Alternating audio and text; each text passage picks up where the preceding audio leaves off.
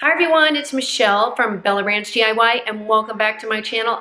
I have a super cute Halloween DIY and you are going to love it. So you ready?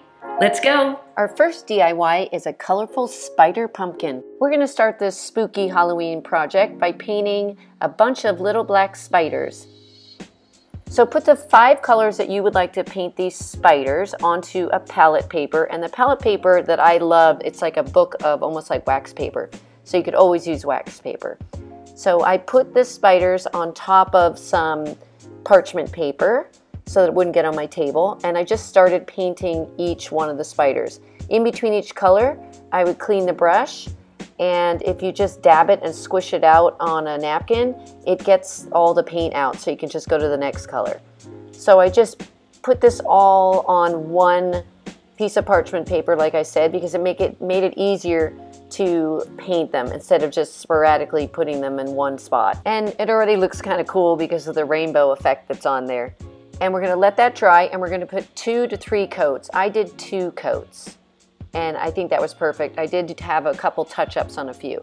Then I'm gonna take a white pumpkin and I'm gonna add some white paint on it. And you're wondering, why are you adding white paint on a white pumpkin when it's already white? It's because I wanted to have more texture.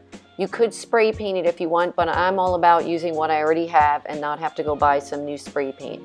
Then I took the stem and I painted it gold. You could use some gold leafing if you wanted to, you if you have that around. And what I did also was I made the shape of the way a stem would look. So it has like little scalloped edges that are kind of random on the gold. So start by putting a little dab of glue. You don't need a lot because you only need one little part of the spider to adhere to your pumpkin. And just put them in all different directions and in different spots on your pumpkin.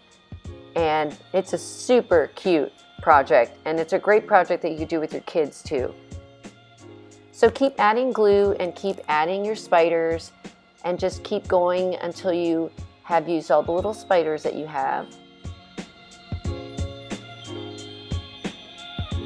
This would also look cute on a black pumpkin or a pink pumpkin. Next, I took some Mod Podge and it was a shiny clear coat which dries super fast. And look how cute this turned out. And look how great it looks in my front entrance of my house. Next project is a boho skull. We're going to start this project with five skulls from the dollar store. Take your Sharpie and make a circle at the top of the skull and then we're going to get some kind of a knife. I'm using an X-Acto knife but it's one that you use to carve wood. So you want something that's strong to be super careful when you're doing this. And I noticed it worked really well when I turned it to the side and kind of use it as a saw. And you're gonna take that out and we're gonna do that to all of the skulls. Then we're gonna take an assortment of colors and you saw that I had the colors in kind of a pink rainbow, starting with the cream color first. Now we're gonna paint each skull in a different color of the palette that you chose. And we're gonna need two coats for this. And I started with my first color and then I just continued on with the palette that I chose. And what I did in between each coat is I took the skull and I put it outside and it dried really quickly that way. And it really only took two coats. You don't need three coats.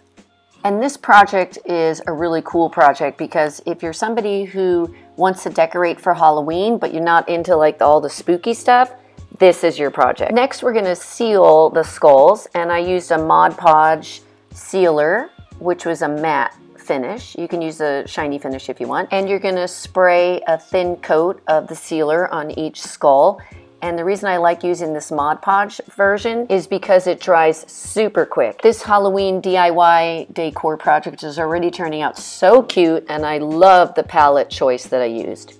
Now we're gonna take some faux flowers or some different pieces that you find and we're going to add those in the top of the skull. And we're gonna keep doing this until you get the little bouquet that you like. And I like how it kind of hangs over and it's very eclectic and very boho. So in order to make your floral arrangement more stable in the hole that you've created, you're gonna have to use something to stabilize it. So what I did was I took a paper bag and I crumpled up a little piece and I put it in the back of the hole to kind of make a wedge to hold it more secure. Now you could just make the hole smaller, but I just made it a little bigger because I wanted to make my arrangement more full on the top of the skull. I have to say this turned out super cute and I think it's a great alternative if you don't want spooky Halloween decorations. And remember, this is about your designs. So if you have a different palette in your house, like blues, it would look fantastic. And if you're somebody who does not like to decorate for Halloween because you're not into all the spooky stuff, this DIY was definitely for you. And really, you could just make one as opposed to just five of the skulls to put as a centerpiece for your table. Next DIY is an abstract painted pumpkin. This is one of the easiest projects today. You're going to take some mm, colors and put them on a palette paper and we are going to make an abstract painting on a pumpkin. And this is not a real pumpkin, it's a fake pumpkin. We're using some acrylic paint and we're going to start with some different colors and we're going to just start layering the colors. Just go for it. Just pick all the colors, layer on top. They're going to mix together and if you don't like it, you can cover it up with another color. And white is your friend on here because you can just blend the white in there to make a whole different color. See how I'm making this lighter pink at the bottom? It looks really cool. And just keep going all the way around. And you'll see right here, I added a, a lot more white on here. And then I added more color on top with the orange and the blue. And then I kept grabbing paint and layering more and more. And the key here is also don't use water with this. You really just want to use the actual acrylic paint, otherwise it'll kind of drip. I wanted a little more texture, so I grabbed some white and I made some little teardrops over that little blue section. And then I added some gold paint. Next, I took the stem, painted it white, and then put gold on top. I also made a little tiny pumpkin to match. I mean, what a cute addition for Halloween. It looks like an abstract painting. I love this one. I think that one was my favorite. I hope you guys love today's Halloween decor DIYs.